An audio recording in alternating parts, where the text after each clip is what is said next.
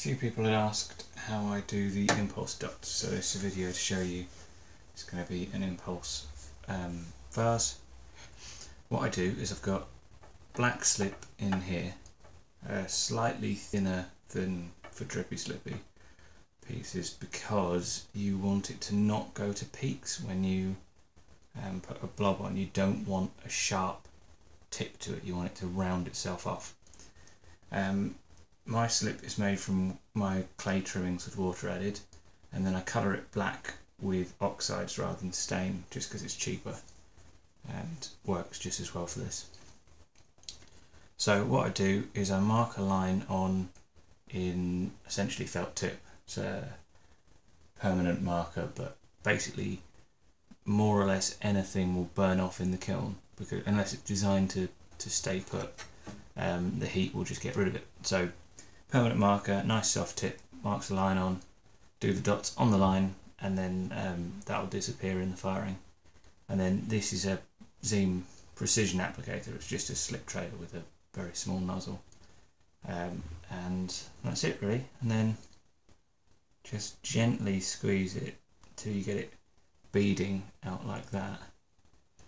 Um, and what will happen is as that dries it will shrink down, but it gives it a raised edge so the glaze will break around it.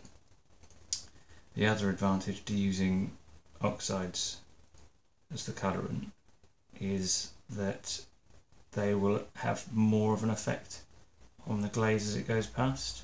I find stain is um, so well kind of mixed and prepared and inert that it's far more predictable but part of that is that it doesn't do anything as interesting. So my colour for the black slip at the moment is 1% each of red iron oxide, manganese dioxide, chromium oxide and cobalt oxide.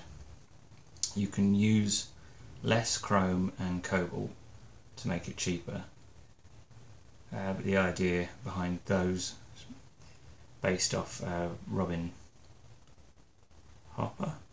Yeah, Robin Hopper's um, black stain recipe. And you've got a blue, a green, a red, and manganese is a bit weird, but but the idea is once you add all those together, you've got black. So I just do these by eye, about a centimetre apart for the first line.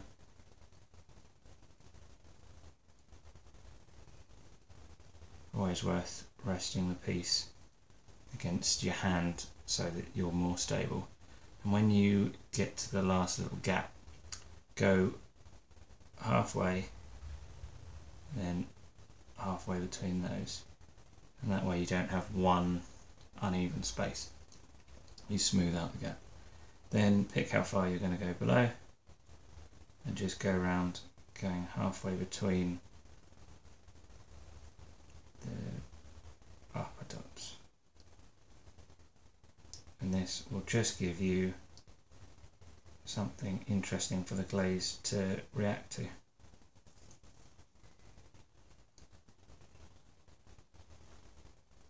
But you can vary the thickness of the glaze. The thicker it is, obviously the larger the dots will stay.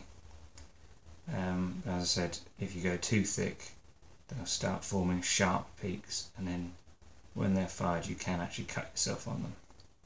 So it's not ideal. And you can use something like sodium silicate to deflocculate the glaze uh, uh, slip sorry. Um, what that does is it forces it's a tricky explanation. But it makes the clay particles behave as though they're, they've got more water in them, in between them, than they do. So it makes it runnier with less water, um, which gives you the best of both worlds, but comes with its own downsides in terms of preparing it. So that's it two rows of dots. Um, see the upper ones have gone matte. And they basically at this point they'll remain like that. Bisque fire them they're attached and then put contrast glaze up there and then a glaze that moves further down which will bring the contrasting glaze with it and as it flows past the dots it breaks up the flow and colours it slightly so it does make it darker. Think probably because it's picking up cobalt but it could be a combination of multiple. But yeah that's it. Um, very simple. The only technical bit is getting the thickness of the slip the way you want it. Different thicknesses will do different things, but it's really just down to taste.